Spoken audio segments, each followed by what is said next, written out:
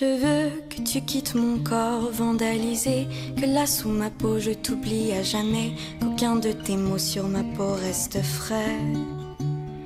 Je veux que tu quittes mon corps, que t'as souillé, qu'au creux de mes os tu ne sois qu'oublié, qu'au coin de mes yeux s'efface ton reflet. J'arracherai ma peau pour t'oublier. Je cracherai ton nom, je te promets. J'oublierai ta peau, j'oublierai tes traits. Et là, dans mon corps, je te tuerai.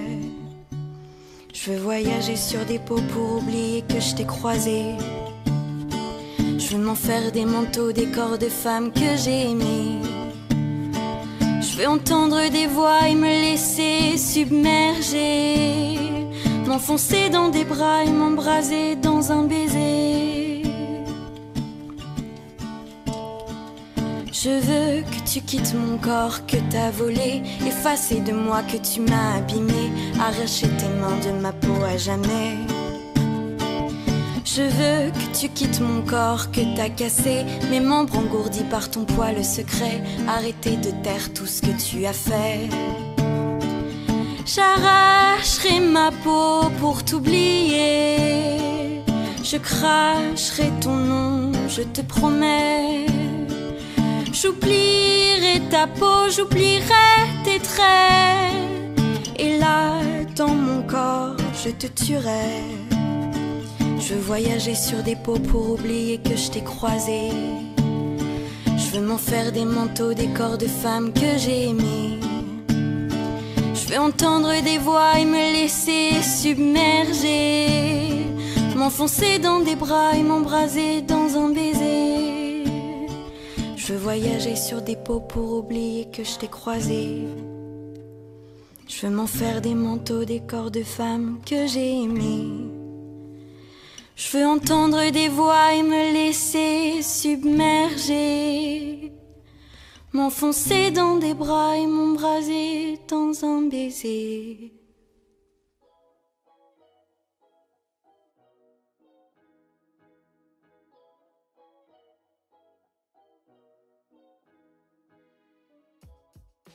à tous, euh, j'espère que vous allez bien, on espère que vous allez bien. Euh, merci à Emma pour cette, euh, pour cette jolie vidéo, c'est une, chanson qu'elle a écrite pour son dernier EP, si jamais ça vous intéresse, n'hésitez pas à aller voir, il y a plein de chansons magnifiques dessus. on se retrouve ce soir pour la deuxième conférence ACT, la démarche RSE de l'école IICP. C'est une conférence qui nous tient énormément à cœur, on va parler violence sexuelle et c'est assez, assez incroyable car euh, lorsque j'ai fait les recherches pour cette conférence, lorsque j'ai voulu me renseigner un petit peu sur les violences sexuelles en France, je me suis rendu compte que il, euh, il y avait eu une augmentation du nombre euh, de violences sexuelles énorme depuis 2019 et il y a une moyenne de 19% des violences sexuelles en plus contrairement aux années précédentes, euh, ce qui est complètement ahurissant. Et ça nous a d'autant plus motivés à faire, euh, à faire cette conférence, surtout que 91% des personnes qui ont été victimes de violences sexuelles euh, affirment ne pas avoir su s'orienter ou alors ne pas avoir été pris en charge correctement. Et c'est pour cela que cette conférence a lieu, car nous avons eu la chance de pouvoir inviter euh, deux personnes euh, qui sont dans l'association En Parler. Euh, Emma Oscar, qui est coprésidente, et Camille Vial, qui est bénévole à Paris. elles vont juste après nous parler de l'association, de comment elles ont fait pour pour y aller. Est-ce que c'est parce qu'elles-mêmes ont subi des violences sexuelles ou est-ce qu'elles l'ont découverte autrement? On leur posera des questions, mais avant ça, il y a euh, quelque chose dont j'avais très envie de vous parler. Euh, avec Act, on lance une nouvelle série de podcasts qui s'appelle Les Voix Hautes. Les Voix Hautes, c'est une, euh, c'est une série de podcasts qui va mettre en avant des témoignages de personnes qui ont subi des violences sexuelles. Donc, ce sont des témoignages qu'on recueille de personnes qu'on connaît ou de personnes qu'on ne connaît pas qui nous les envoient par mail et on les on les clame telles quelles sur un podcast à la première personne comme elle nous l'a envoyé, justement pour pouvoir offrir une voix, une parole à toutes celles et ceux qui, euh, qui n'osent pas, qui n'osent pas en parler. Et, euh, donc si euh, Pauline est d'accord, on va le diffuser tout de suite. Quand ça s'est terminé, j'étais tellement mal, je me sentais tellement vide que j'ai compris que c'était pas la fin. Les voix hautes. Un podcast qui libère la parole de celles et ceux qui la retiennent. Il y a un an et demi, je fêtais mes deux ans de couple avec mon ex-petit copain. Tout se passait bien, il me disait être fou amoureux de moi et moi je le croyais. Et il y a un an et demi, pour la première fois de ma vie, quelqu'un a abusé de moi sexuellement. On était chez lui, assis sur le canapé, je lisais, lui il répondait à ses mails. C'était une sorte de quotidien qui nous plaisait bien. C'était pas la première fois que cette situation arrivait, mais c'était la première fois que ça allait si loin. J'étais en pyjama, ce qui signifie être en t-shirt culotte pour ma part, et lui il était habillé. J'avais les yeux plongés sur mon bouquin et j'ai senti sa main se poser et glisser sur ma cuisse. Je n'ai pas attendu. Je voulais pas de ce genre de relation entre nous, alors je lui ai dit sincèrement non, désolé, je n'ai pas envie là. Ce à quoi il m'a répondu Et alors C'est toi qui décides maintenant? Je n'avais jamais entendu cette voix et je ne l'avais jamais entendu dire des atrocités pareilles. Je ne savais plus quoi répondre, j'étais tétanisée, alors j'essayais d'être polie. S'il te plaît, arrête, non, pas là, je t'en supplie. Tout en sentant ses mains se balader sur une peau qui ne voulait pas de lui. Tout en sentant mon cœur battre de plus en plus vite, et j'ai crié aussi, mais il a vite fait de mettre sa main sur ma bouche pour qu'on ne m'entende pas. J'avais honte, mais honte, il a fait ce qu'il voulait, et quand ça s'est terminé, j'étais tellement mal, je me sentais tellement vide, que j'ai compris que c'était pas la fin. Je n'ai pas attendu très longtemps avant d'en parler. Assez pour me remettre de tout ce qui s'était passé, en tout cas. Au-delà de ce que j'ai vécu, les retours de mon entourage n'étaient pas faciles. Vous étiez en couple, c'est normal qu'il veuille coucher avec toi. En même temps, si tu ne couchais pas avec lui, il serait allé voir ailleurs. Ou encore, mais t'étais en culotte sur son canapé. C'est normal qu'il te saute dessus. Ah bon?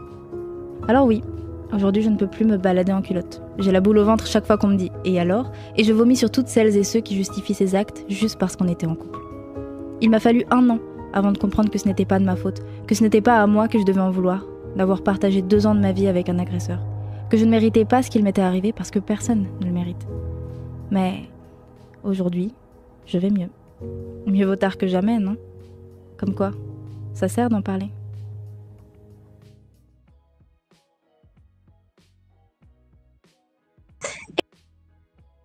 inviter euh, Emma Oscar et Camille Vial, si vous voulez bien, à activer vos caméras et vos micros. Bonjour. Camille est là Je suis là, mais Ça arrive. Ok. bah, déjà, merci beaucoup euh, de prendre de votre temps. Merci d'accepter euh, d'accepter de participer à cette conférence. Euh, pour commencer, est-ce que vous voulez bien vous présenter? Tu veux commencer, Camille? Eh ben, allons-y. Donc, je m'appelle Camille. Ça fait deux ans que je participe à l'association, enfin, au rendez-vous de l'association En Parler, et ça fait un an que je suis bénévole, peut-être? Je me suis un peu plus impliquée. Et j'ai 36 ans, donc euh, beaucoup plus âgée qu'Emma. Donc moi c'est Emma, euh, donc du coup bah, je suis musicienne et je suis nouvellement coprésidente de l'association. Euh, j'étais dans l'association depuis le tout début sur Paris. Je suis devenue bénévole au bout de quatre mois et là on vient de changer le bureau, donc je suis présidente depuis un mois. Ok, et euh, concrètement, qu'est-ce que vous faites avec euh, cette association? Quelles sont les missions? En quoi elle consiste Alors, En Parler, c'est une association qui a été fondée en 2017 par Sandrine Rousseau. Donc, pour ceux et celles qui ne connaissent pas Sandrine Rousseau, c'est une femme politique, économiste, euh, enseignante chercheuse. Et c'est une des victimes à avoir témoigné à visage découvert suite à l'affaire Denis Baupin. Et donc, elle a monté cette association en se disant voilà, des psys, ça existe, des juristes, ça existe, des associations avec des juristes, ça existe, des associations avec des psys, ça existe. Ce qui manque, c'est une association où on est entre pairs et où de fait, on n'a pas cette censure et cette façon de parler hyper différente que quand on parle avec des gens qui n'ont pas subi des violences. Et donc, elle a, après avoir écrit le livre Parler, elle a fondé l'association Parler, qui est devenue En Parler plus tard. Euh, et c'est une association où tous les mois, on se retrouve entre victimes. Donc, on est toutes et tous victimes, des bénévoles, des gens qui viennent nous rencontrer, des membres du CA, des membres du bureau. On a toutes et tous subi des violences sexuelles dans notre vie. Et du coup, voilà, c'est des lieux, euh, c'est un moment où on partage un repas hors période Covid. et où on peut parler de tout sans jugement, sans se dire que ça va être mal interprété, parce que de fait, on sait toutes et tous ce que ça représente d'être victime. On organise aussi des ateliers, donc on a des ateliers d'autodéfense, des ateliers socio-esthétiques avec des socio-esthéticiennes, et on accompagne aussi au dépôt de plainte, alors pas du tout juridiquement, mais on accompagne en soutien moral. En gros, on est là avant et après le, dépôt de plainte pour euh, boire un café, euh, relâcher la pression, euh, avoir un peu ce, ouais, c'est ça, ce soutien moral pour pas laisser la personne seule. D'accord. Et toi, tu l'as découverte comment cette association? Moi? Je l'ai découverte, euh, j'avais entendu une, une, interview de Sandrine euh, à la télé où elle faisait la promo de son livre et elle parlait de, de son projet de faire naître l'association. Et donc, j'avais, je m'étais inscrite sur la newsletter qui allait annoncer la naissance de l'asso et le début des, des rendez-vous. Et je m'étais inscrite au tout premier rendez-vous sur Paris. Donc, c'était en janvier 2018, le tout premier. Et moi, ça faisait trois ans que j'avais subi un viol et que je ne parlais pas du tout. Et du coup, euh, l'idée, c'était vraiment de pouvoir rencontrer des femmes qui avaient vécu la même chose pour euh, pouvoir voir que j'étais pas toute seule parce qu'on se sent souvent très seule à ce moment-là. Et donc, vraiment, j'avais suivi la naissance de l'assaut et j'avais signé tout de suite dès le premier rendez-vous annoncé. Ok. Et, toi, Camille, parce que du coup, toi, t'es arrivée plus tard, enfin, après, euh, après Emma. Bah, je suis arrivée en octobre 2018, je crois, 2019.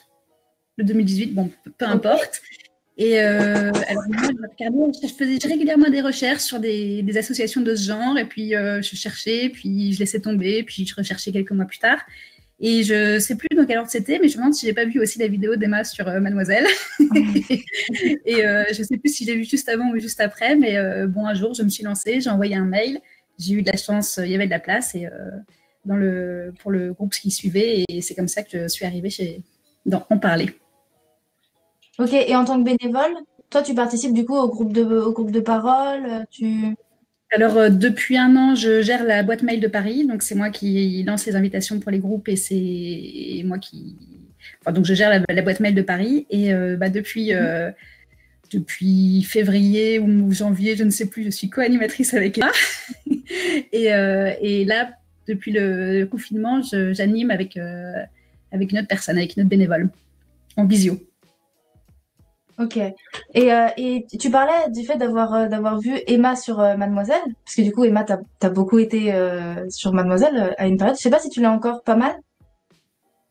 Moins maintenant. Mais je me souviens à une période où on te voyait tout le temps sur Mademoiselle. Donc Mademoiselle, c'est un, c'est un média notamment féministe dans lequel tu as été notamment en vidéo et je crois que tu as témoigné sur euh, diverses choses qui te sont arrivées alors sur Mademoiselle, j'ai pas fait de témoignage. Par contre, ils avaient relayé une de mes vidéos qui s'appelle Lettre ouverte à un agresseur et dans lequel je parle de l'association. D'accord, ok.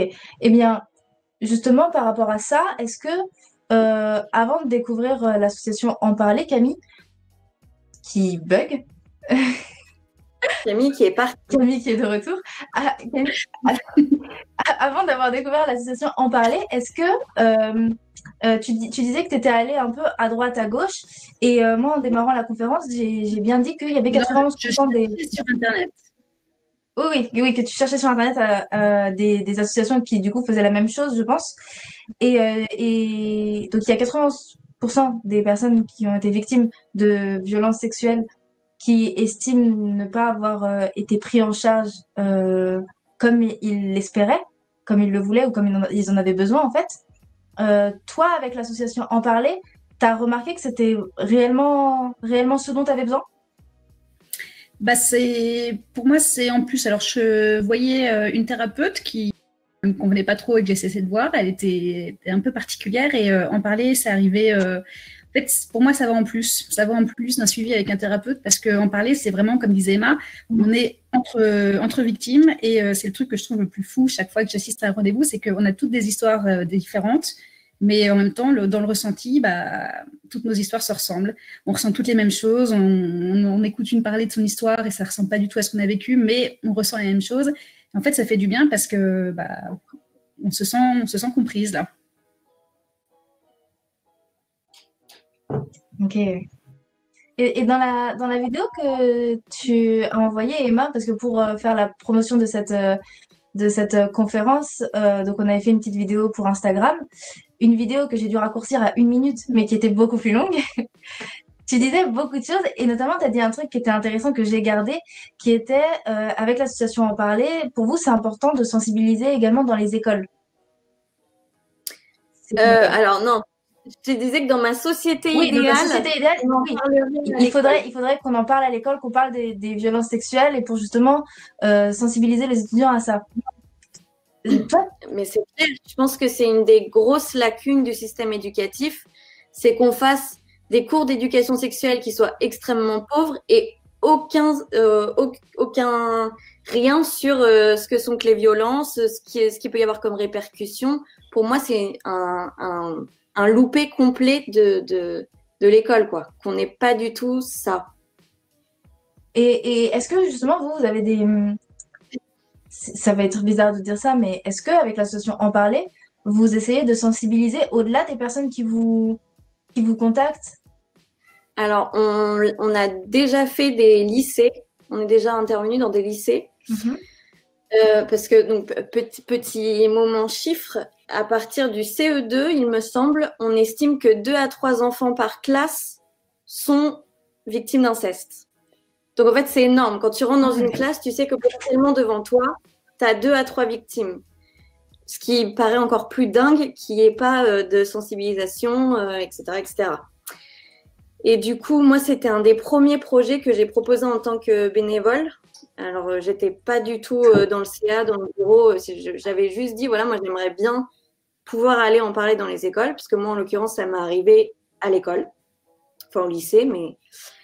Et donc, on avait fait une journée de sensibilisation dans un lycée, et sur la journée, on avait eu neuf témoignages, alors qu'on avait eu 40 élèves au total. Neuf élèves qui s'étaient mis à pleurer, etc. Donc, c'était hyper rude.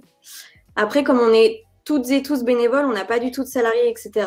On manque parfois de temps pour pouvoir organiser plus, mais c'est dans nos projets à l'avenir d'aller plus dans les écoles, etc. Parce qu'en fait, on s'est rendu compte qu'il y avait un besoin immense pour qu'en une journée, il y ait neuf personnes qui, qui soit pleurent, soit euh, sortent, soit euh, viennent nous dire euh, je l'avais jamais dit, mais moi, il s'est passé ça. C'est qu'il y a vraiment une lacune, quoi. On a une question de, Juliette qui dit avant de venir dans l'association En Parler, est-ce que vous avez vraiment hésité avant de parler de votre vécu? Est-ce que ça vous a pris du temps avant d'y participer? Tu veux commencer, Camille? Eh ben, Je pense qu'on a fait un peu pareil, toi et moi. C'est euh, la première fois que j'y suis allée, euh, bah, j'ai essayé de me retenir de pleurer. Donc, j'avais mon petit mouchoir et je me tamponnais les yeux euh, pendant, pendant toute la séance. Donc, c'est quand même pendant deux heures, hein, donc c'est dense. Et bah, je me suis présentée au tout début, mais c'est tout. Et j'ai pris, j'ai pas beaucoup pris la parole. J'ai, c'est Sandrine, euh, Sandrine Rousseau euh, avait animé un rendez-vous et elle m'avait un petit peu poussée pour que je prenne la parole. Et c'est comme ça que j'ai pris la parole. Mais c'est, c'est, non, j'ai mis un moment avant de prendre la parole, effectivement, avant d'en parler à l'association. Mais ça fait du bien aussi. Mais là, la question, c'était avant de venir à l'assaut. Avant de venir à l'assaut, est-ce que tu as hésité à ah, parler de oui, parce que comme je disais, ça faisait déjà euh, plusieurs mois, pendant plusieurs mois, euh, j'ai regardé. Déjà, moi, j'ai mis, je dirais, huit ans à réaliser ce qui m'était arrivé. Donc, euh, j'ai été violée par un ami, entre guillemets, et, et j'ai mis huit ans avant de comprendre ce qui m'était arrivé. Et en fait, quand, quand j'en parlais, pour moi, c'était toujours, enfin, non, j'en parlais pas, mais quand j'en parlais dans ma tête, c'était, j'ai trompé mon copain à l'insu de mon plein gré. Donc déjà, on se rend compte qu'il y a un petit problème quand on utilise l'expression à l'insu de son plein gré. Donc pendant huit ans, j'avais l'impression d'avoir trompé euh, mon copain de l'époque à l'insu de mon plein gré. Et euh, après, j'ai encore mis un certain moment avant d'en parler. Donc, c'est compliqué. J'en ai pas parlé à beaucoup de monde. Et euh, j'en parle de plus en plus. J'essaye. Alors, moi, c'était. pas, pour le coup, c'était pas la même situation parce que j'avais enfin, j'avais conscience que c'était pas normal ce qui s'était passé, que c'était un viol. Pour le coup, j'ai eu conscience très vite que c'était ça. Euh, mais par contre, impossible de sortir quoi que ce soit de ma bouche. Donc euh, j'étais en première, j'étais au lycée, donc euh, mon année de terminale, ça a été décrochage complet. Je parlais plus à mes parents, je parlais plus à personne, pour éviter toute possibilité qu'un jour je sorte le, mm. le gros mot de j'ai été violée. Et du coup, je suis restée dans le silence pendant trois ans, mais en ayant pleinement conscience de ce qui m'était arrivé. Et quand j'en ai enfin parlé Enfin, enfin, trois ans finalement c'est court. Hein. Mais quand on est parlé, euh, j'étais satisfaite d'aucune réponse que mes proches me faisaient. Alors maintenant, avec le recul, je les comprends et je ne leur en veux absolument pas, etc. Parce que de fait, quand quelqu'un que tu aimes t'annonce quelque chose comme ça, c'est une bombe et c'est hyper compliqué à. Enfin, il y a l'affect qui rentre en jeu, donc c'est très délicat. Mais du coup, euh, une fois que j'avais sorti le truc, eh ben, j'étais perdue et je savais pas quoi faire de cette information. Je savais pas quoi faire des réponses qu'on me renvoyait. Donc, euh, moi, vraiment, quand j'ai su qu'une association de pères se montait, je me suis dit, je signe tout de suite parce que là, peut-être, euh, on va me comprendre, en fait. Et, Camille, toi aussi, tu estimes que les retours, parce que au-delà de discuter avec, l'association En Parler, t'en avais parlé à tes proches, à des amis autour de toi? Et si, et si oui, est-ce que les retours étaient à la hauteur de tes attentes? Eh ben, justement, le, ce qui est amusant, si on peut dire, avec les retours, c'est qu'on n'a souvent pas du tout les retours qu'on attend. c'est parfois des grandes surprises. Et, euh, et donc, bon, enfin, bon, comme dans tout euh, événement dramatique, on ne s'attend pas toujours aux réactions des gens. Et euh, alors, euh, dans ma famille, j'en ai parlé qu'à ma sœur. Et j'ai mis, euh, je crois que ça s'est passé sur plusieurs semaines. Donc, elle habite, euh, elle habite pas, pas près de chez moi. Je vais la voir assez régulièrement. Mais je pense que sur peut-être 3, 4 ou 5 visites, on parlait un peu de ça. Et, et, et j'avais pas jusqu'au bout des choses. Mais bon, pour situer, en fait, j'en ai parlé à mon copain. Et je crois à deux amis. Et j'en ai parlé à un, autre ami qui, lui, l'a très mal pris, mais vraiment très, très mal pris. Et qui a décidé qu'il ne voulait plus me parler. Parce que bah, quand même, j'aurais pu m'abstenir de lui annoncer la nouvelle. Donc, ça m'a, ça m'a mise en colère et euh, j'ai décidé, en fait, c'est suite à cette discussion euh, pas, très, pas très positive que j'ai eu envie d'en parler à d'autres personnes. Donc, j'en ai parlé, euh, en fait, j'en ai parlé à mes amis proches et à ma sœur. Mais donc, ma sœur, ça s'est fait suite à cette, cette séparation avec cette amie, cette ancienne amie. Et donc, elle savait que je ne lui parlais plus. Elle me disait, mais pourquoi tu lui parles plus? Et donc, au bout d'un moment, à force de tourner en rond, elle a compris, euh, elle a compris ce qui s'était passé. Mais donc, de ma famille, euh, j'ai l'objectif d'en parler à mes parents, parce que j'ai porté plainte. Donc, euh, donc c'est important pour moi d'en parler avec mes parents, mais je ne, je ne sais pas trop comment amener le sujet. enfin, je ne sais pas trop comment faire. Donc, c'est en cours de, de réflexion. Et, ah, oui, les amis, bah non, je... toujours. Une grande réflexion. Non, mais je. Hein. on a rigolé avec Emma, mais si ça se trouve, euh, il participe à la, réunion. et, euh, et en fait, c'est amusant parce que quand, euh, bah, quand j'ai partagé le, la publication là, pour, pour cette réunion, j'ai eu beaucoup de, de, réactions sur Facebook avec mes amis, ce qui m'a aussi assez étonnante en fait. C'est vrai que les gens sont quand même plutôt positifs, à part cette personne ce, copain qui n'est donc plus un copain et que j'espère ne jamais euh, les, les, réactions sont quand même plutôt positives. Mais c'est vrai que bah, certaines personnes ne savent pas trop comment réagir et il manque quand même toujours quelque chose avec toute la bonne volonté du monde. Bah, ceux qui n'ont pas vécu ça, il, leur manque quand même toujours un truc pour que. J'ai toujours l'impression qu'il y a quand même. C'est pas tout à fait compris. On comprend pas toujours pourquoi je peux réagir comme ça, qu'on comprend pas toujours pourquoi euh, j'ai ces réactions-là. Et, j'ai l'impression qu'il manque toujours quelque chose quand euh, j'en parle pas avec des gens qui ont été victimes. L'avantage de l'association, c'est qu'effectivement, bah, on comprend les réactions des autres, même si on n'est pas forcément d'accord, mais on comprend parce que c'est des choses qu'on a, ressenties et qu'on a pensées.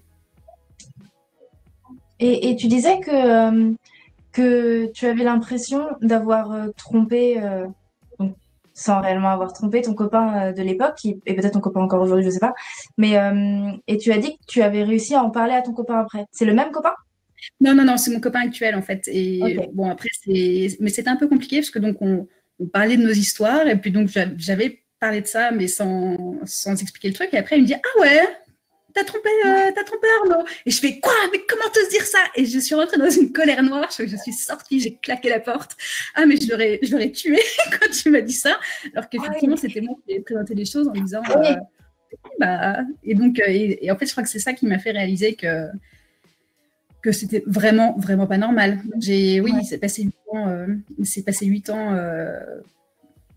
Euh, bah, j'avais bien compris que c'était quand même pas normal ce qui m'était arrivé, mais c'était pas, euh, c'était pas, j'arrivais pas à me dire que c'était un viol. J'ai d'ailleurs toujours beaucoup de mal à le dire. Je me force un peu à utiliser ce mot, mais ça reste compliqué. Ça reste un vocabulaire très compliqué. D'ailleurs, on n'entend pas beaucoup hein, pendant les rendez-vous.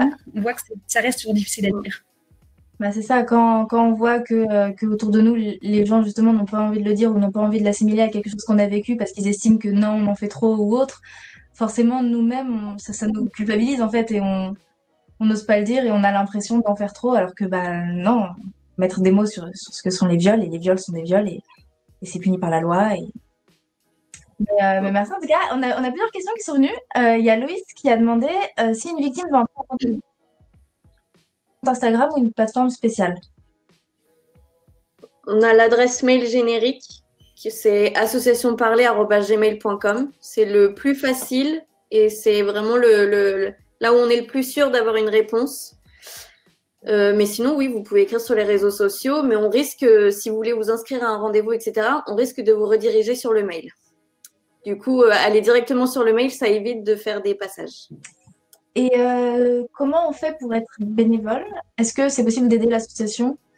Déjà, vous avez dit que dans l'association, il y avait uniquement des personnes donc, qui ont subi une violence sexuelle. Ça veut dire que si on n'en a pas subi, en tant que bénévole, c'est possible quand même ou pas du tout? Il y a des bénévoles, par exemple, dans... on a des bénévoles qui sont là si jamais on a une demande de dépôt de plainte pour accompagner la personne, etc. Dans ces personnes-là, tout le monde n'a pas subi des violences. Ok. Mais on a quand même euh, une infime minorité de personnes n'ayant pas subi de. Je pense que je peux les compter sur les doigts d'une main. D'accord. Et c'est parce que euh, parce qu'elle se présente pas forcément pour euh, demander à être bénévole ou c'est parce que euh, l'association préfère que vous soyez entre pairs justement parce enfin, justement pour rassurer. C'est notre c'est notre c'est notre identité, hein, une association de pairs pour de victimes pour des victimes, etc. Je pense qu'on en a moins qui viennent se présenter même si on en a encore. Après, on a par exemple des bénévoles qui viennent parce qu'elles veulent nous proposer un atelier. Donc, il y a des femmes qui n'ont, ou même des hommes, qui ne sont pas du tout victimes. Par exemple, à, Lille, on a eu un coiffeur qui a proposé de laisser son salon pour les ateliers de socio-esthétique, etc. Donc, euh, lui, il a coiffé, etc. Il était bénévole. Il n'était pas victime, c'était juste qu'il était sensible à la cause et à l'association.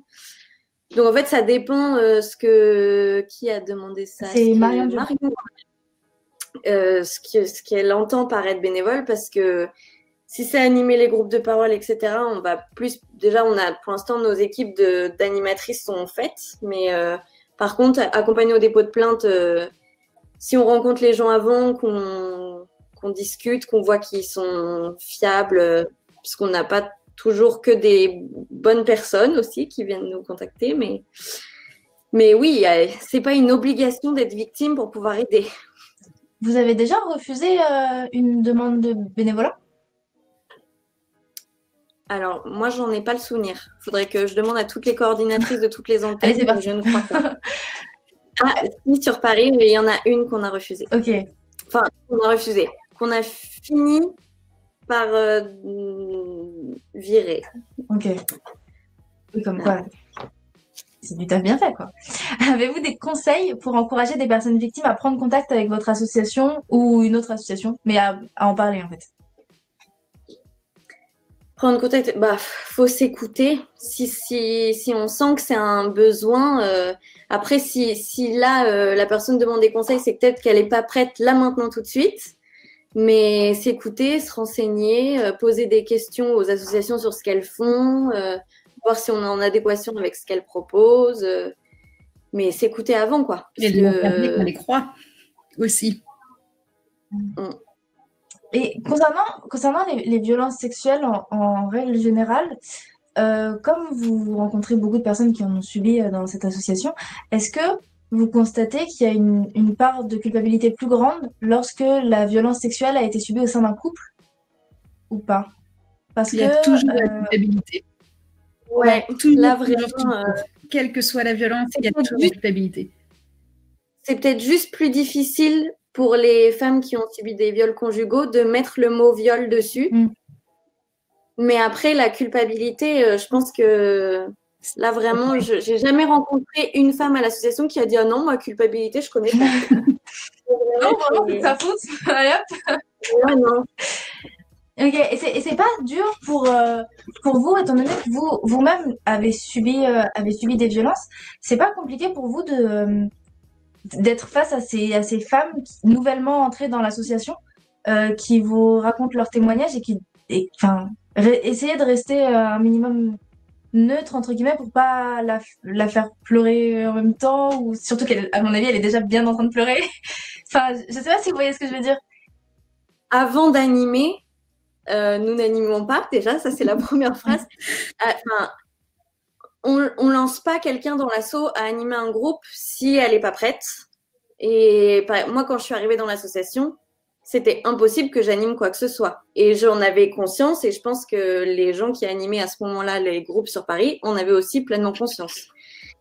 Donc, euh, en fait, une fois que toi, tu vas mieux, que tu connais les bienfaits de l'association, ben, je, non, faut vraiment, tu, nous, je laisserai Camille après répondre, mais je fais les groupes. Souvent, les groupes, on termine toujours par un tour de parole où on sort quelque chose de positif de ce qui s'est passé pendant les deux heures de discussion. Et moi, depuis que là, je réanime les groupes, euh, j'ai pas eu de, soirée où vraiment je me suis dit, là, c'était horrible et, et ça va pas du tout. Et c'est sûr que parfois, il y a des histoires qui sont difficiles, qu'on peut se reconnaître, etc. Donc oui, ça remue. Mais comme les filles qui vont animer les groupes et les hommes, puisqu'on a une antenne homme à Paris, euh, enfin, si on les met en animation, c'est qu'elles sont prêtes, quoi. Donc euh, globalement, euh, moi, ça m'est jamais arrivé de ressortir complètement lessivée en me disant c'était le pire groupe, ça pleurait trop, j'ai envie de mourir tellement c'est triste ce qui vient de se passer, tu vois. Tant mieux. Et toi, Camille?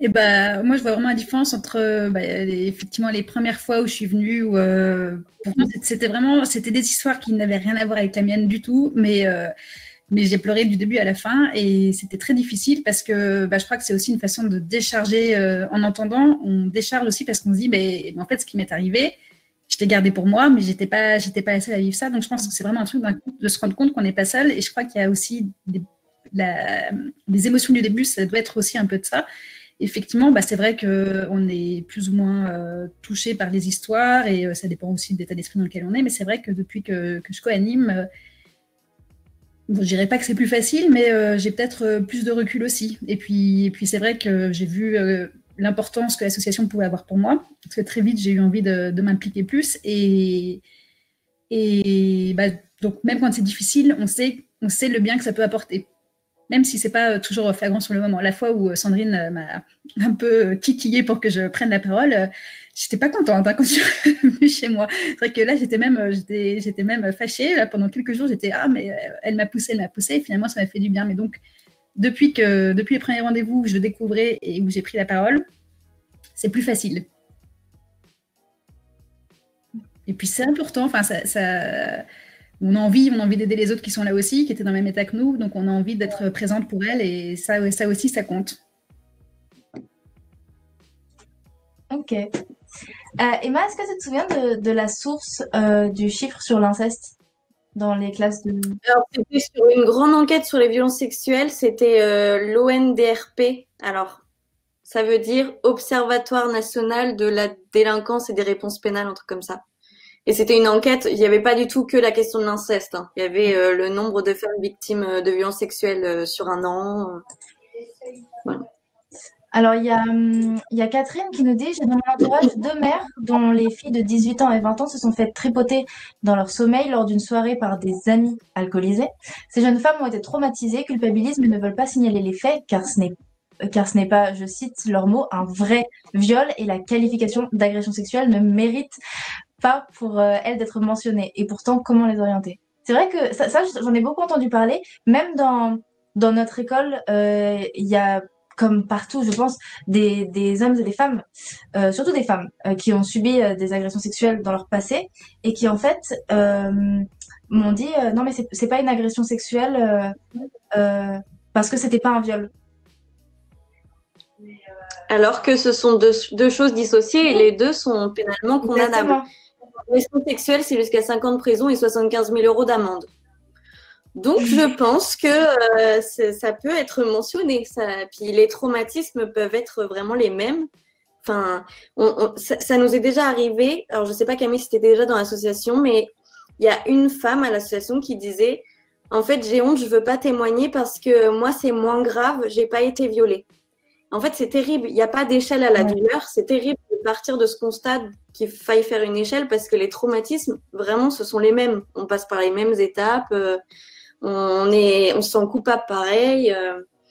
Mais effectivement, sur le terme d'agression sexuelle, il y a un problème. Je suis désolée, il y a mes, chats qui se battent derrière, donc les beaucoup. Je suis navrée. Euh, mais sur, par exemple, même les journalistes, comme ça je te parle, Jenna, comme ça tu sauras à l'avenir que jamais il faut faire ça. Les gens qui font des articles sur les frotteurs du métro, c'est un problème, par exemple, parce que les frotteurs du métro, ils commettent des agressions sexuelles. C'est pas ils se frottent, ils sont agresseurs. Donc vraiment, il y a un problème avec ce agression sexuelle, comme si c'est ça, ça... non, c'est pas grave, on va l'atténuer en disant euh, attouchement, euh, euh, frotteur du métro, mais non. Enfin, une main au cul, c'est une agression sexuelle. Et ça peut aller jusqu'à 75 000 euros d'amende et 5 ans d'emprisonnement. Bon, dans les faits. Que fait la justice? Après, je pense aussi que dans leur cas, c'est possible que c'est une façon de. Bah, une fois qu'on met les mots, en fait, ça a un côté plus réel. Une fois qu'on euh, peut plus, on peut plus se dire non, mais je sais pas trop. La, ligne, la, ligne grise, elle disparaît en fait. Une fois qu'on dit agression sexuelle, bah, c'est une agression sexuelle et ça, ça rend les choses réelles. Et je pense que c'est compliqué aussi, surtout si elles sont traumatisées. C'est compliqué de, de dire ça. Et puis, quand on a bu, euh, dans mon cas par exemple, j'avais bu, ça ajoute vachement de culpabilité parce qu'on dit bah c'est ma faute. Si j'avais pas bu, mm. eh ben, il ne me serait pas arrivé ça. Évidemment, on a, toujours des milliards d'excuses hein, pour que ça n'arrive pas. Mais la vraie, raison, c'est que si le violeur n'était pas un violeur, ça ne serait pas arrivé. Ou si l'agresseur n'était pas un agresseur, ça ne serait pas arrivé. C'est ça, le, c'est ça la vraie raison. Pense que dans leur cas, il faut leur, leur bah, être présente et leur dire que c'est possible, qu'elles peuvent porter plainte plus tard aussi si elles souhaitent le faire et que c'est pas une obligation de porter plainte. Ça aussi, c'est important de le dire. Il faut pas le faire si si on se sent pas de le faire. C'est une charge qui est trop difficile, je pense, euh, intellectuellement, physiquement, psychologiquement, pour, euh, pour se forcer à porter plainte juste parce que, parce que, parce que ça compte. Mais il faut que ça compte pour soi, avant tout. Après, euh, Catherine, tu peux justement en parler à, en parler à, ces deux femmes, si, euh, si elles ont envie de découvrir l'association En Parler, peut-être pour justement les contacter et aller, euh, aller vers eux et essayer elles-mêmes de mettre des mots sur ce qui s'est passé, parce que si elles estiment que ce n'est pas une réelle agression sexuelle, ben en fait, quels sont les mots qu'elles ont envie de mettre sur ce qui s'est passé? Et, euh, et peut-être qu'en fait, dans le fond, c'était la même chose, mais juste, elles ont besoin qu'on qu'on leur dise c'est une agression sexuelle, elles ont besoin que, que quelqu'un, entre guillemets, de qualifié. Parce que automatiquement, quand on va dans une association, on, se sent entouré de, de, gens qui maîtrisent bien plus le sujet. Euh, et bah, peut-être qu'elles vont se dire en entrant dans l'association, ah bah si, en fait, si telle personne a subi la même chose et c'était une agression sexuelle, c'est-à-dire que moi aussi. Et là, ça fera peut-être avancer les choses. Ou juste laisser un petit temps. Si ça se trouve, dans d'ici deux, trois mois, elle va se réveiller et elle va se dire, ah mince, en fait, je crois qu'à ce moment-là, c'était pas normal. Et ça changera. Mais, euh, mais oui, euh, c'est vrai que c'est vrai que la culpabilité euh, de, de, de l'alcool et de tout ça, c'est quelque chose qui ressort énormément. Il y, a, y, a, déjà Marion qui vous remercie pour votre authenticité et votre partage. Et elle vous demande si vous avez des conseils pour se réapproprier son corps et son image après ça. Vaste sujet également. ouais. Donc là, je pense que c'est hyper euh, intime et propre à chacune. Alors, euh, il y en a, ça va être faire à fond du sport. C'est pas mon cas, par exemple, mais il y en a, se réapproprier leur corps, ça va passer par ça. Euh, sur l'île, on avait monté des ateliers socio-esthétiques où des socio-esthéticiennes venaient coiffer, maquiller, faire des photos des femmes pour qu'elles se sentent belles, etc. Là, vraiment, c'est ouais, un vaste sujet et hyper. Euh, qui sera différent pour chacune, je pense. Donc, c'est un peu compliqué de répondre. Je n'aide pas. Hein. non, mais après, tout pareil, ça doit être une question de temps aussi. Et puis, c'est bizarre, mais, mais sûrement, étant donné que la sexualité est souvent liée à l'amour, peut-être qu'il y a aussi le fait de rencontrer quelqu'un après, ou la personne avec qui on est sur le moment, qui peut justement nous aider à mm. réapproprier notre corps. Je pense que ça peut, ça peut aider également. Euh, Mais surtout, il faut faire soi. Comment? Tu peux répéter, s'il te plaît? Dans, ces cas-là, je pense que c'est important de faire les choses pour soi aussi et de ne pas s'imposer. Euh, de pas s'imposer de pas s'imposer des trucs parce qu'on peut se dire euh, bah pour me réapproprier mon corps je vais me forcer à faire ça ça ça et ça faut quand même rester bienveillant avec soi-même. C'est très à la mode d'être bienveillant, mais pour le coup, il faut vraiment euh, se rappeler ça. C'est vrai. Il y Véronique J'applaudis le cours de sémantique. Ouais. J'applaudis le cours de sémantique. C'est très bon et c'est vraiment quelque chose. Typiquement sur le elle s'est faite violer, c'est un truc qu'on reprend à chaque rendez-vous parce que vraiment, les femmes ont ça dans leur vocabulaire. Je me suis faite violer. Et Sandrine Rousseau avait une image plutôt parlante euh, pour euh, expliquer ce c'est fait, non, c'est pas possible. Elle disait que on se fait une, omelette, c'est-à-dire qu'on bat les œufs, on fait une action pour euh, faire l'omelette. Dans le viol, on n'a aucune responsabilité, donc nous, on ne fait rien. Donc, on est violé. Donc, bravo Véronique pour ce cours de sémantique. Je, valide complètement. J'adore. Et, bah, niveau justement erreur de vocabulaire, j'ai eu une erreur de vocabulaire avant cette conférence. Est-ce que. tu te vends toute seule. oui, bien sûr. Non, mais, non, mais qu'on le dise parce que, par exemple, moi, elle s'est fait violer et elle a été violée. Enfin, bon, là, ça fait quelques années euh, que c'est bon, euh, c'est acquis. Mais avant, c'était quelque chose, je ne comprenais même pas la différence. Tellement, tellement on me l'avait ancré dans mon vocabulaire, en fait. Et pareil, euh, donc du coup, mon erreur, c'est que je disais agression sexuelle et je globalisais toutes les violences sexuelles. Et Emma m'a dit, non, Jenna, une violence sexuelle, c'est une violence sexuelle. Il y a le viol, il y a les agressions, et ça, ça fait un tout. Et euh, c'est pour ça que j'ai beaucoup répété violence sexuelle euh, ce soir. Et, euh, et est-ce que c'est quelque chose, donc en vue de ce que la société nous impose, est-ce que vous, vous ressentez dans les groupes de parole justement que les, les femmes qui viennent parler de, de ce qui leur sont arrivés bah, se flagellent énormément sur ce qui s'est passé, amoindrissent les actes, et en fait, comme si elles avaient envie d'en parler, donc elles vous en parlaient, mais qu'elles amoindrissaient le tout parce qu'elles ont peur, je sais pas, que la personne soit derrière et écoute et, euh, revienne, ou enfin des choses comme ça. Je pense que c'est pas parce qu'elles ont peur que la personne écoute et revienne, c'est parce que on est lobotomisé avec des mots qui ne sont pas les, les bons mots, quoi. Tout à l'heure, je parlais des frotteurs du métro mais c'est un exemple parmi tant d'autres, quoi. Les, vraiment, les violences sexuelles en France, et pas qu'en France, mais là, en l'occurrence, on parle de la France, on ne sait pas en parler et employer les mots justes, ce qui fait que on a toujours une culpabilité qui s'amoncelle parce que euh, parce qu'on ne dit pas les bons mots, quoi. Et d'un coup, quand on dit les vrais mots, ah oui, quand même, il, m'est quand même arrivé ça, c'est gros comme, euh, donc, je pense pas que c'est parce qu'elles ont peur que la personne qui les a euh, agressées ou violées les entende. Je pense que c'est juste parce qu'on est hyper habitué à entendre du vocabulaire qui n'est pas le bon. Je pense que c'est aussi pour atténuer. Oui, ça rend complètement moins grave. Et si c'est moins grave, c'est moins grave. Euh, c'est plus facile à gérer. C'est plus facile à gérer. C'est très compliqué d'être une victime. C'est vrai qu'il y a toujours des débats sur le terme victime. Certaines euh, victimes euh, refusent d'utiliser le terme victime, mais c'est vrai que c'est un terme compliqué aussi, victime. Qui rajoute de la culpabilité, la culpabilité déjà existante. Bah, oh, c'est dingue parce que si, si, une personne se fait agresser euh, dans la rue, elle se fait frapper ou autre, elle va avoir aucun mal à dire, à dire qu'elle s'est fait agresser. Donc c'est vraiment ce, enfin, le tabou sexuel qui fait que bah, personne n'ose. Est-ce que vous, dans, les groupes de parole, il y a déjà des femmes qui sont venues à un premier groupe de parole et qui par la suite ne se sont pas forcément senties légitimes d'être là parce que les, personnes autour d'elles avaient vécu, euh, avaient vécu pire d'après elles. Et, euh, et, donc, du coup, elles ne sont pas revenues. Elles vous ont envoyé un petit message gentil et elles, n'ont pas osé revenir. Ou alors, à l'inverse, euh, bah, tout le monde est mis sur un pied d'égalité dès le début tout ce que vous avez vécu, euh, ben, vous ne l'avez pas mérité et vous avez le droit de ressentir la douleur à, la valeur que vous l'estimez et personne n'a le droit d'en juger. Euh. Complètement, c'est ce que je te disais tout à l'heure. Avec euh, moi, ça m'est arrivé qu'une seule fois, ou mais bon, c'était la fois de trop parce que c'est terrible pour cette personne qui disait, puisqu'on commence toujours par un tour de parole où on est libre de dire ce qu'on veut. Donc, si on ne veut pas parler parce qu'on ne peut pas ou que sais-je, on peut ne rien dire, mais il y en a qui, dès ce premier tour, disent bah, Moi, je suis là parce que j'ai été violée, blablabla. Et du coup, quand était arrivée cette jeune fille qui d'un coup dit bah, En fait, moi, j'ose pas parler parce que euh, c'est moins pire, du coup, je sais pas ce que je fais là parce que moi, j'ai pas été violée, j'ai été agressée, c'est terrible.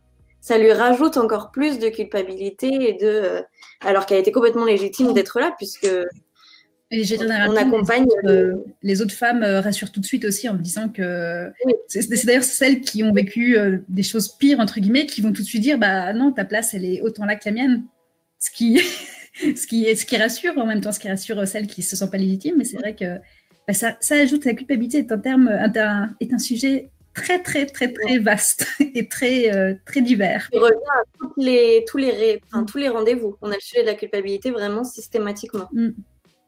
Mais ça a l'air hyper bien. Et pas forcément que ce qui s'est passé à l'instant T. Aussi, culpabilité de le dire aux proches et du coup de faire de la peine. Culpabilité de n'avoir pas bougé parce qu'on ne connaît pas le concept de sidération. Culpabilité, enfin vraiment la culpabilité, ça prend une place on culpabilise de porter plainte, mais on culpabilise aussi de ne pas porter plainte. Donc c'est pas ça, ça, c'est ce genre de grand écart. Mais là, par exemple, Camille, toi, du coup, euh, bah, tu disais que tes parents n'étaient pas encore au courant, que tu avais envie de leur dire, et, par rapport à ce que Emma vient de dire, la culpabilité de ne pas en parler aux proches par peur de, de les rendre tristes, toi, c'est plus pour ça que tu n'oses pas en parler à tes parents? Bah, je trouve aussi que c'est un sujet compliqué à aborder avec mes parents parce que j'ai du mal à me faire du fait que un viol, c'est pas la sexualité. J'ai l'impression que je vais leur parler de ma sexualité, mais non, je vais pas leur parler de ma sexualité. Je vais juste leur parler d'une agression. Je crois qu'il y a ça. Il y a le fait que j'ai peur de leur faire de la peine, et, c'est aussi compliqué d'aborder le sujet parce que euh, j'ai l'impression que c'est bizarre d'en parler à mes parents. Je vais pas, euh, on communique pas très très bien euh, dans ma famille, donc c'est pas. et donc voilà, je, je, fais un petit amalgame comme ça qui est qui est compliqué. Mais bon, je me dis, j'ai porté plainte. Bon, je pense que je ne sais pas ce qui se passera avec ma plainte, mais s'il euh, y a une enquête, mes parents risquent d'être euh, d'être interrogés. Et donc, je préférais quand même que leur apprendre moi la nouvelle plutôt qu'un jour ils reçoivent euh, un courrier ou un appel de la police, d'un commissariat. Mais c'est. Bah, on a peur de, on a peur de faire de la peine à nos, à nos proches. Donc, en tant que victime, on continue encore à protéger les autres en disant bah, je vais garder ça pour moi. Et je pense que c'est pour ça que beaucoup de victimes ne parlent pas. C'est je vais garder ça pour moi plutôt qu'en parler à famille et détruire ma famille parce que ça va, leur faire trop de peine. Et donc on garde, en soi quelque chose qui, bah voilà, c'est euh, bah, c'est Marie-Jo qui avait trouvé cette, euh, la coprésidente, qui avait trouvé cette image que j'ai trouvée, euh, qui m'a beaucoup plu. Elle disait, mais c'est comme un furon. C'est un furon, qu'on laisse pousser, pousser, pousser, pousser, jusqu'à ce qu'il explose à un moment. Et plus on attend, plus le furon, il est douloureux et il grossit. Et j'aimais beaucoup cette image. Donc Marie-Jo, si tu nous regardes, je, te, cite parce que ce n'est pas une belle image, mais elle représente bien les choses. C'est ça, elle est là. Ben, j'aime beaucoup euh, cette image, je te le redis. Il y a Elena qui demande comment est-ce qu'on peut être présent pour un ami, une amie qui a subi euh, une agression sexuelle ou j'imagine des violences sexuelles en règle générale et comment l'aider. Euh, du coup, j'imagine si, si l'amie en question a déjà du mal à en parler parce que sinon, euh, je pense qu'elle peut, elle peut aller elle-même vers, euh, vers des associations ou autres. Bah, je pense qu'à part lui dire je suis là pour toi, moi je te crois, si tu veux en parler, je suis là, il n'y a pas grand chose à faire si la personne n'est pas prête tout de suite à en parler mais répéter qu'on est là et que s'il y a besoin, elle sera, elle sera là pour euh, l'accompagner s'il y a besoin dans une asso, l'accompagner, euh, porter plainte si un jour elle a envie de porter plainte. Juste une présence, je pense que ça suffit parce que si pour le moment elle n'arrive pas à parler, elle, ce sera pas magique quoi. Non. Il faut du temps. Ouais. Et puis avoir quelqu'un qui est là, c'est déjà, euh, c'est déjà important. Avoir quelqu'un, je suis là si tu as besoin, ça compte déjà énormément éventuellement lui proposer des associations euh, bah, comme en parler ou des associations où elle peut en parler parce que c'est compliqué d'en parler avec des proches justement. C'est plus facile d'en parler avec des inconnus et euh, surtout avec des inconnus euh, qui, qui ont vécu la même chose. bien évidemment, on n'est pas là pour forcer les, les, gens à nous en parler s'ils n'ont pas envie de nous en parler, mais, mais est-ce que vous, estimez que c'est quelque chose quand même qui est important quand on a subi une, des violences sexuelles de réussir à, libérer la parole pour s'en affranchir? Ou est-ce que euh, est-ce que vous pensez que c'est pas forcément utile dans le sens où il y a d'autres manières de euh, passer à autre chose? C'est une bien grande expression mais euh, moi je pense qu'en parler c'est le début de la réparation après il faut pas brusquer parce que c'est ça peut aussi être hyper destructif destructrice. Bah, t'as compris. Destructrice. Donc, euh, enfin, je, vais parler de moi, mais si j'en avais parlé tout de suite, euh, c'est un peu un des regrets, un des trucs qui me fait encore culpabiliser, c'est que je me dis qu'en même temps, je me serais évité trois ans de galère et de solitude et de cauchemar et de... Parce qu'en fait, quand on commence à parler, c'est le début de la réparation. Après, ça dépend à qui on le dit, parce qu'on a aussi des femmes qui, quand elles en ont parlé à leurs proches, ça a été euh, la bombe, quoi. Camille parlait d'un de ses amis, mais on a vraiment des femmes, euh, surtout quand c'est une histoire d'inceste, des femmes où les familles explosent et où on ne te parle pas, tu es une menteuse. Euh. Donc, pour moi, c'est le début de la reconstruction, de poser des mots. Mais après, ça dépend à qui, ça dépend si on est prêt à le faire ou pas. je suis d'accord. Bah, moi, je sais que j'avais pas eu forcément de mal à, en parler assez rapidement. Euh, c'est même allé très très vite. Euh, la semaine qui a suivi, euh, mes proches étaient déjà au courant.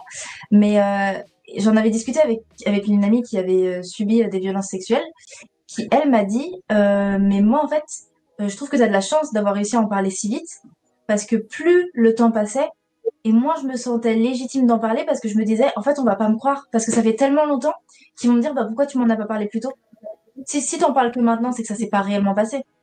Et est-ce que euh, dans, dans votre association, vous, vous avez vécu ce moment d'une femme qui, euh, qui a subi quelque chose il y a très longtemps? Bah toi, Emma, du coup, qui a attendu trois ans euh, avant de, réussir à en parler.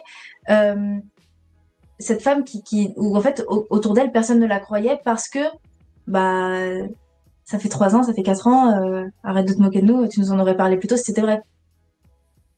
Bah alors moi on m'a cru parce que euh, dans ma super chance j'ai fait une énorme dépression euh, pendant un an et demi. Donc mes parents ont très bien situé l'instant T où ça s'était passé et d'un coup ils ont compris la dépression. Mais par contre dans la salle effectivement, je, m'estime très chanceuse. J'ai eu aucune personne qui m'a dit t'es sûre euh, je, je, trouve ça bizarre. Peut-être. Euh, alors, la question aussi de peut-être tu, te fais des films, tu l'as guiché, etc. La question se ne posait pas non plus pour moi parce que je suis lesbienne. Donc, de fait, aguicher un homme n'était crédible pour personne qui me connaissait. Donc, j'ai eu de la chance, entre guillemets, dans ma malchance. Mais à l'assaut, oui, des, des femmes qui ne sont pas crues par leur famille, il y en a vraiment énormément. Énormément. Et d'autant plus que celles qui ont subi des choses dans leur enfance, il y en a beaucoup qui sont en amnésie traumatique et qui, du coup, 20 ans plus tard, se rappellent ce qui leur est arrivé et, du coup, parlent 20 ans plus tard. Et comme l'amnésie traumatique, c'est pareil, c'est comme la sidération, on n'en parle pas. Alors, ça commence un peu, mais on n'est pas encore sur quelque chose de très démocratisé et très compris. Et ben, tout le monde est là, bah, qu'est-ce que tu te réveilles 20 ans plus tard euh, Pourquoi tu es triste maintenant euh, Il y a 20 ans, il y a prescription. Euh. Donc oui, il y en a plein des femmes qui ne sont pas crues. D'accord. Ok. Alors, pour le coup, c'est une réponse positive, peut-être. Non, mais pour le coup, moi, ça va être la version un peu drôle du euh, pourquoi tu m'as pas dit plus tôt, mais c'est donc une de mes amies qui a réalisé, euh, donc qui, suite à mon partage de, de, cette, euh, cette interview et qui me disait après, mais pourquoi tu m'en as parlé plus pas, tu m'en as pas parlé plus tôt? Et je pense que pour le coup, elle s'était j'ai l'impression qu'elle était peinée en tant qu'amie que, euh, que j'en ai pas parlé. donc il y a aussi, je pense, des proches qui peuvent réagir comme ça. Donc elle m'a cru, mais, euh, mais c'est vrai que c'était le truc. Mais pourquoi tu m'en as pas parlé plus tôt? Et c'était dans l'autre sens. Donc c'est plus, léger. Et, au-delà des amis qui, comme ça, ont, ressentaient entre guillemets le besoin de, savoir ce qui s'était passé parce que bah, elles sont proches de vous et elles ont envie de d'être là pour vous. Euh, vous avez senti aussi un, un, côté un peu plus euh, ce ragot potin. Euh, ah, il s'est passé quoi euh, Ouais, voilà. Ok. Et, est-ce que tu as des, des exemples? Parce que dans le milieu scolaire, en tout cas, dans ce qu'on dans ce qu'on peut vivre à l'école, je trouve que c'est c'est beaucoup là-dedans. Si les femmes de mon école, par exemple, ont peut-être un peu plus de mal à en parler, c'est peut-être aussi parce qu'elles savent pas forcément à qui en parler elles ont peur euh, on est jeune, on a des amitiés qui sont en train de naître, on a des amitiés qui peuvent paraître fortes pour le moment, on connaît pas forcément très bien les personnes et on n'a pas forcément envie de leur livrer une partie de nous qui est malgré tout très forte. Et donc du coup, par rapport à ça, est-ce que vous vous arrivez à, le ressentir quand les personnes viennent vers vous et et vous demandent de leur en parler, si c'est si c'est ça ou si à l'inverse c'est plus euh, du ragotage. Je pense qu'on ne sait jamais vraiment euh, ce que veulent les gens, mais effectivement, je me suis posé la question. Euh, bah, ce, même ami, parlons encore de lui, parce qu'il ne voulait pas en parler. Et après, sa conclusion, c'était écris-moi une lettre et raconte-moi tout dans le détail. bah, non, je ne vais pas te raconter toute cette histoire dans le détail. Je t'ai déjà, euh, déjà expliqué que j'avais été violée. Je pense que ça suffit, que tu n'as pas besoin de savoir euh, où, quand, comment, euh, et dans le détail. Et, c'était vraiment le, truc un peu étrange. Sachant que juste avant, il m'avait dit si tu portes plainte, hors de question, tu me cites. Parce que je me posais la question en fait de savoir si il avait pu être témoin de, de l'événement. Et donc, c'était le truc raconte-moi tout dans le détail. lui, pour le coup, je n'ai pas très bien compris parce que depuis, euh, on ne se parle plus, mais c'était assez surprenant de, comme réaction. Donc, je pense qu'effectivement, bah, c'est comme les accidents de voiture sur l'autoroute. Les gens ralentissent pour regarder. Les gens n'ont pas envie de savoir, mais en même temps, ils ont, ils ont envie d'avoir les détails euh, croustillants, de savoir euh, ce qui s'est passé, comment comment tu étais habillé, ce que tu avais bu, est-ce que ceci, est-ce que cela. C'est des détails qui intéressent les gens et qui culpabilisent, justement. Bah, ça, on en parle beaucoup. Ça, on en parle beaucoup. Vous, qui accompagnez justement dans le côté juridique, euh, est-ce que vous avez déjà entendu parler, je pense que oui, de, femmes qui euh, se seraient fait questionner sur leur, euh, sur comment elles étaient habillées, sur, oui, voilà, ok, très régulièrement? bah, ça arrive. Bah, alors, le pire étant les récits des dépôts de plainte. Parfois, c'est aussi une des choses que je disais dans l'interview pour la présentation de la conférence, mais ça a été coupé parce que je parlais trop. Désolé.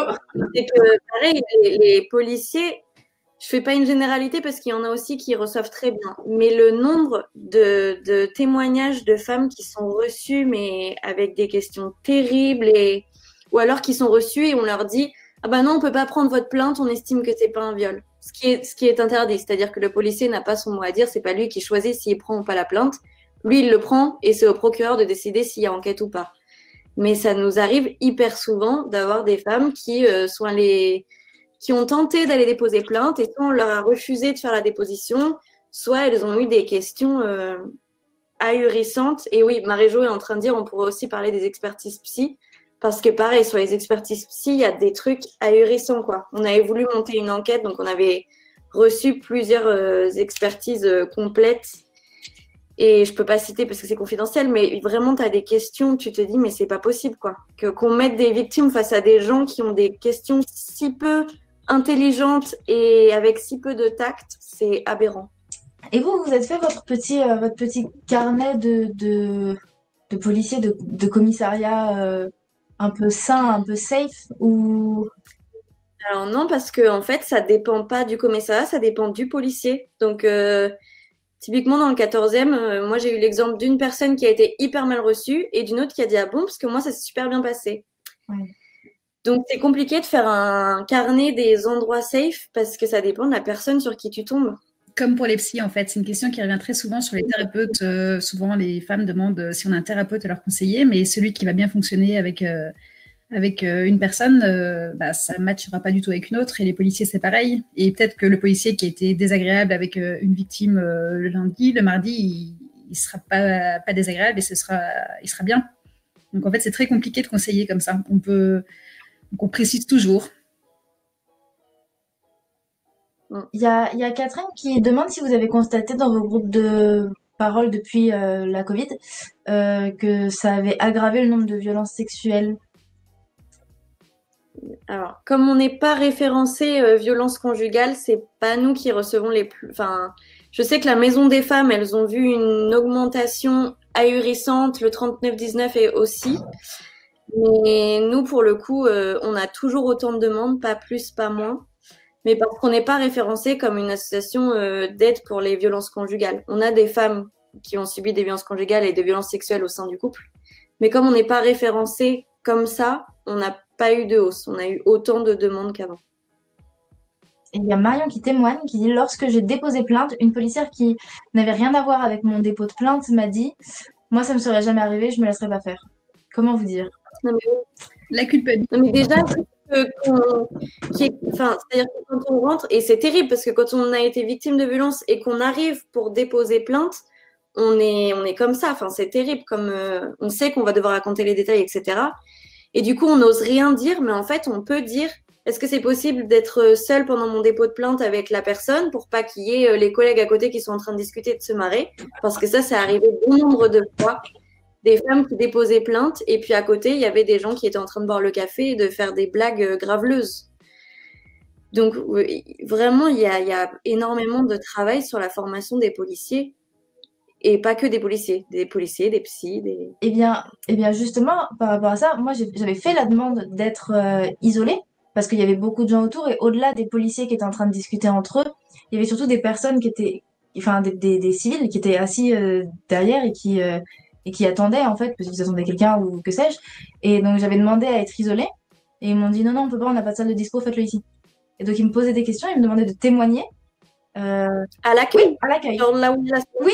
Mais ça, c'est pas possible. C'était euh, un rapport social.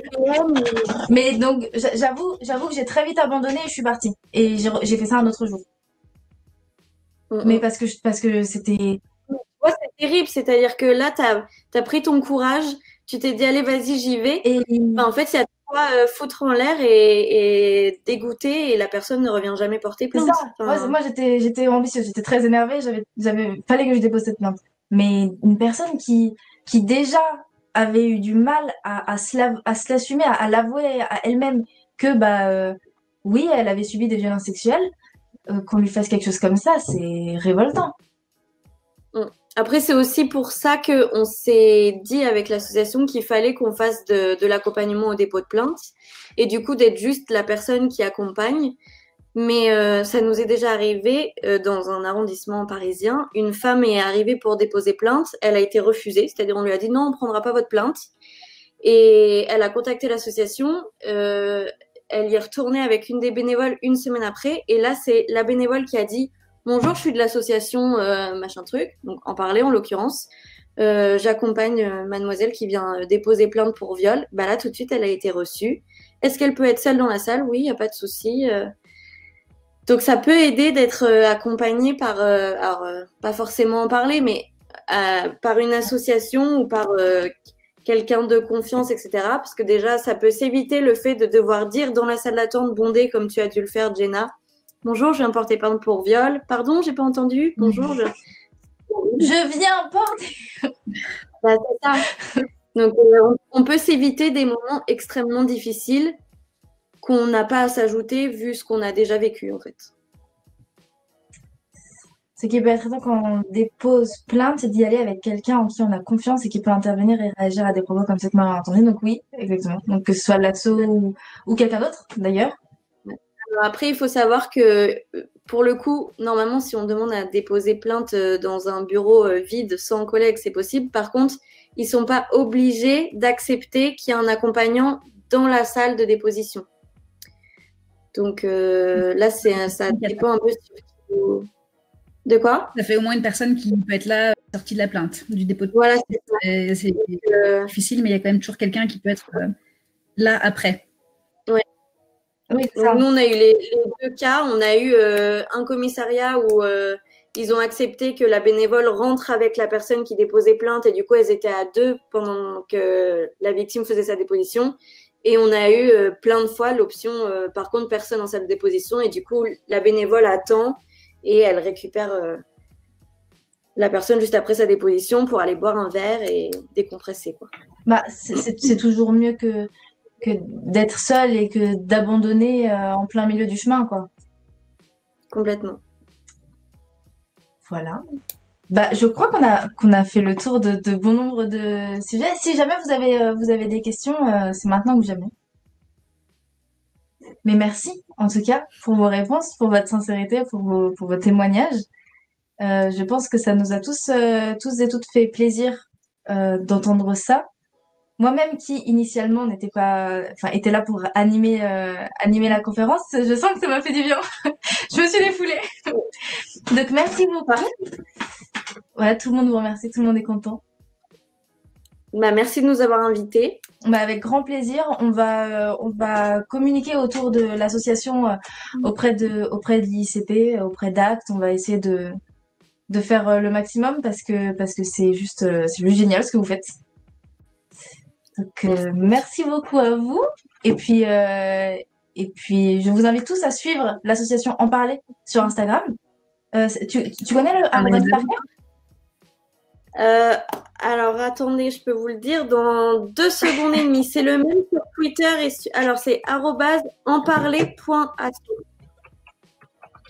Hop. Comme ça? Ouais, sur Twitter c'est enparler-du-bas Et sur Facebook, association en parler. Et en plus, on a un super calendrier d'avant en ce moment sur le. Exactement. Sur, euh, sur euh, tous les réseaux?